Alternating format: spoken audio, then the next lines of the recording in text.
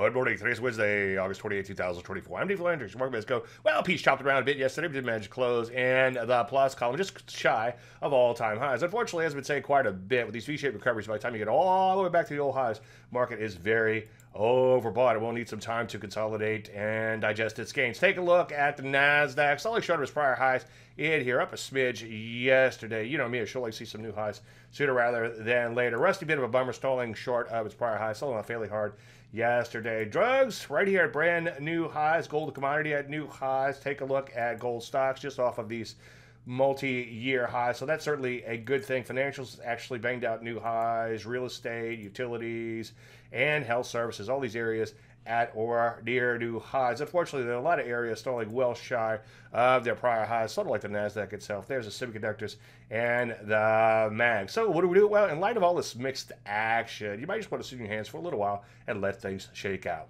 Any questions, as usual, Dave, I'm Dave Landry, you sort of market minute.